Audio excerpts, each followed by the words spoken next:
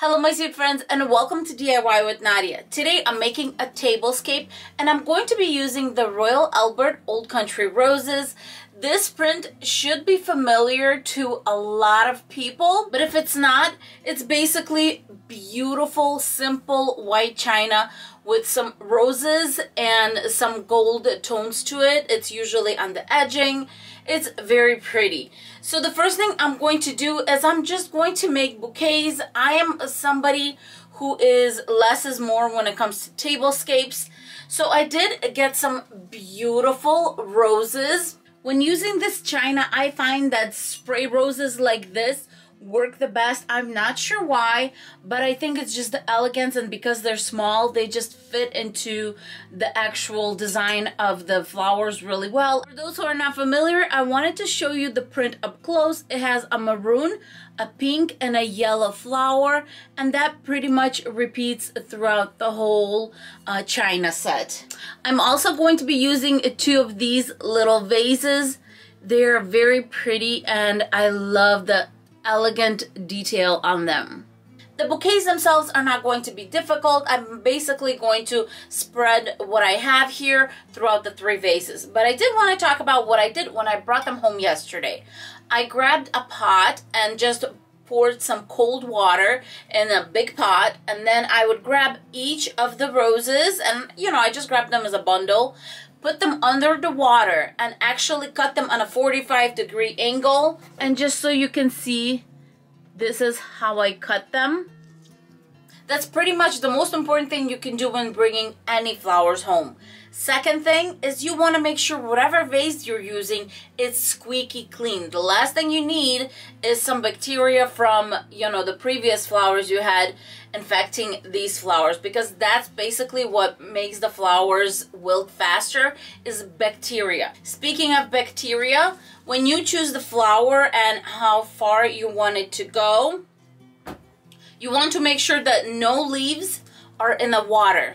So just take those off. All my vases have water in them and the water is mixed with the little uh, packet that you get with the flowers themselves and uh, this water does too.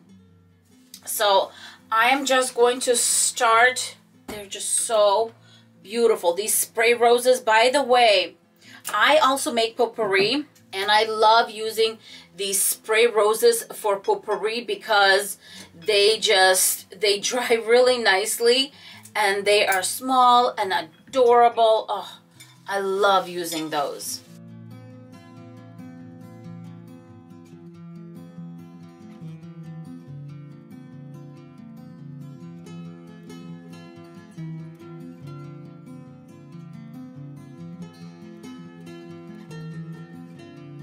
here is what I have for my beautiful bouquets. I have the big one and then the two little ones.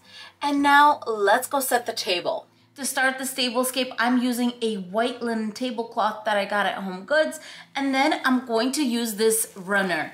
I got this runner from someone who was going out of business for decorating and I got it for five bucks, which was a great deal, but it is a long 120 inch runner. So it's going to hang over a little bit on the side, but that's all right. Next come the chargers and the chargers I'm going to use are these rose gold ones and this is going to go perfect because I'm actually setting up a tea party so this would just be very elegant for you know ladies night and things like that because it's very feminine with the rose gold.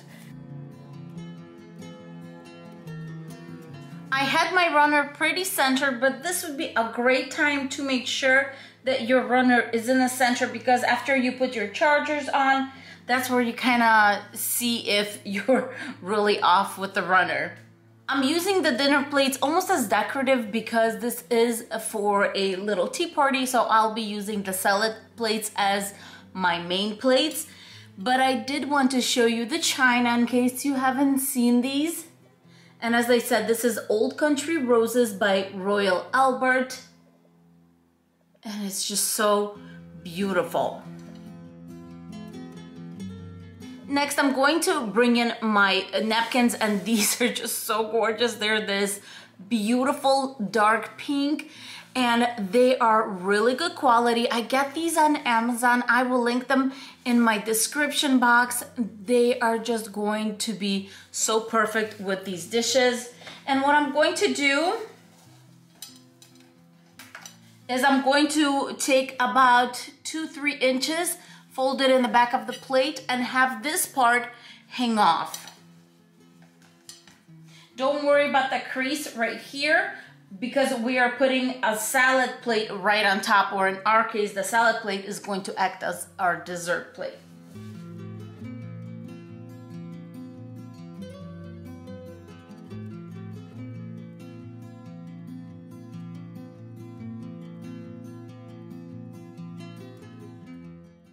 On top, I'm putting these dessert plates.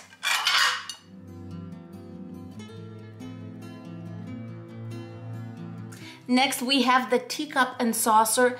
Look at the elegant detail on the teacup and the saucer. So, so beautiful. I mean, that handle itself is just unbelievably beautiful.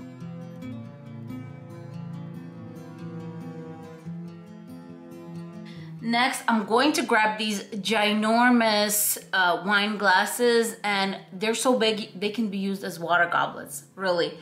And these are from the Dollar Tree. I absolutely love them and I'm going to put them in the corner right here between my plate and my cup and saucer in case someone wants to drink something other than the tea. Next, I'm going to be using some silverware from Gorham and all I'm going to be using is a little teaspoon and a little fork because as I said, this is a tea party. What I'm going to do is I'm going to cross them a little bit and tie them together with a little ribbon. Just make a bow and if you don't know how to do a bow, then just tie it uh, in a knot or just, just tie it loosely.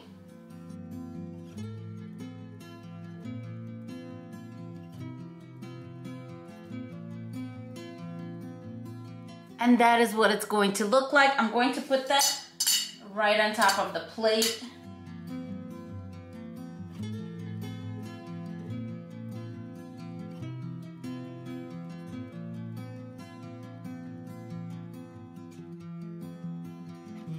And now it's time to finish off the center of the table.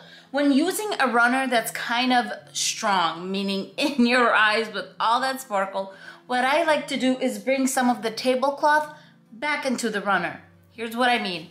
I grab a ribbon and believe it or not, this is from the Dollar Tree.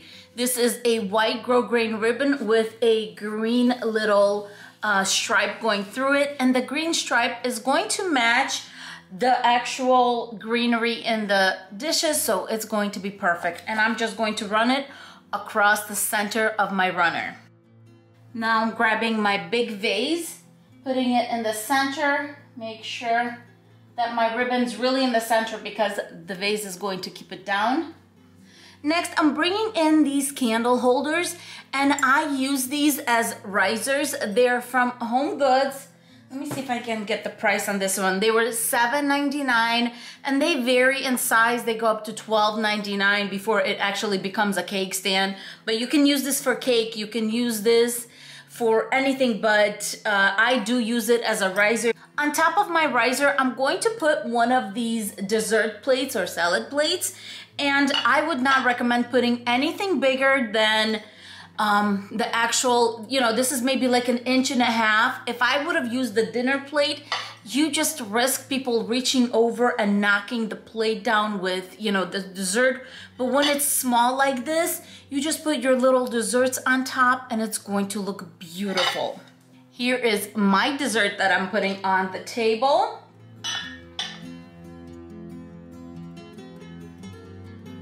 Next, I'm grabbing the little vases that we made and I'm going to put those on the sides of the table.